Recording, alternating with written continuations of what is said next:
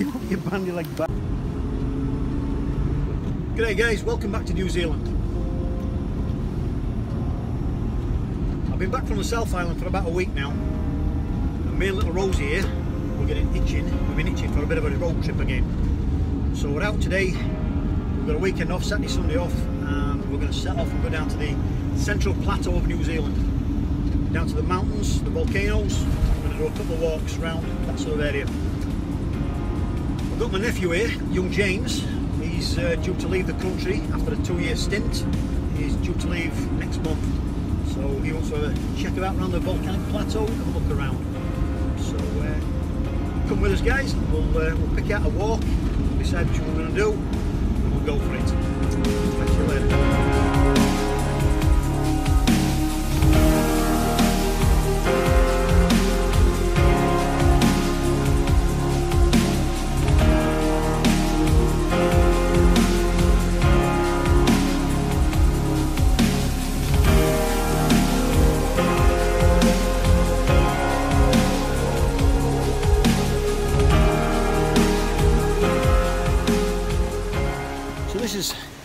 Taranaki Falls.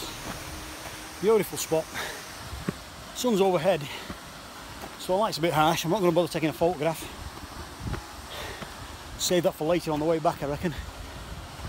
We're going to push on to a place called Tama Falls, Tama Falls, Tama Lakes, T-A-M-A Lakes, and that is supposed to be absolutely beautiful. This is the Tongariro, Tongariro National Park, and uh, I think we're going to get a nice sunset tonight. I think it's going to make a few nice photographs of the snow-capped mountains with Tama Lake in the foreground, if I've got it planned right. So by my reckoning, or our reckoning, we're about an hour, 20 minutes away from Tama Lakes, And it's dark Tama in a Lake, couple of hours. and it's dark in a couple of hours. So that means, without a shadow of a doubt, we've We're got a dark walk back. Yeah, we've got a dark walk back. Uh, but it's three quarters, three quarters of a full moon. So I'm thinking we should get a little bit of uh, luminance on the path on the way back. We've got all these all these orange markers as well marking the way, so we should be right. And James assures me he's got plenty of battery on his phone, so he's got a little torch on his phone, so I think we're all right. But we'll see. But we will see. So probably five minutes away from Tama Lake's lower lake. Think that's about as far as we're going to go. James thinks he might sort of scoot up another 45 minutes to Upper Lake. I don't think I'm going to bother. I'm going to sit down and uh, get a few photographs. I think we're going to lose the light before long anyway. So we've got a two and a half hour walk back from this point, which should take us well after sunset. So uh, I think we'll just potter about.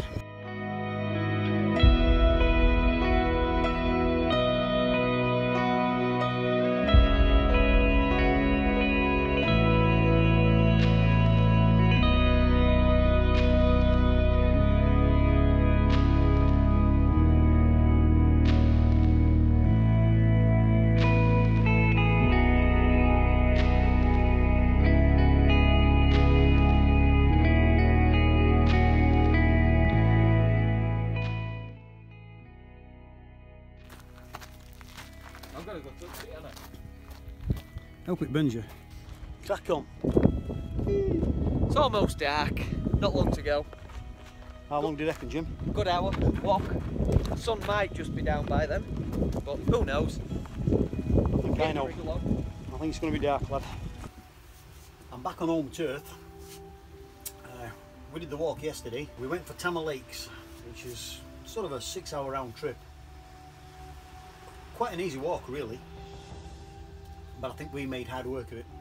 We arrived there quite late, so we started the walk around about sort of 2.30, 3, 3 o'clock maybe, 3 o'clockish. And it's a six-hour hike, effectively. Uh, and we kind of didn't even think about getting back, to be honest, until kind of halfway there. We got halfway there and then we thought, shit, actually, we've got another three hours to get back and it's going to be dark in two hours. So we kind of got to where we were getting. James did the heroic bit and uh, he scrambled up to the upper lake. Uh, I just didn't have time. I didn't have the time or the energy, to be honest. I was knackered. Uh, so, yeah, James did that. I stayed at the lower lake, got a couple of photographs that I'll post in a second, a couple of photographs I'm quite happy with.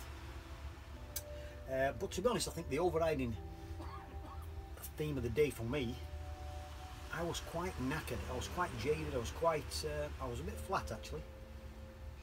And I think after after last week, or the last few weeks down in South Island, I think to come back here, I, I was just, I don't know, I was just left a little bit flat. I mean, the scenery down there, it's just, it's just beautiful. I, I, think it's just a case of, uh, I just need a few more weeks to sort of acclimatise to life back in Hawke's Bay.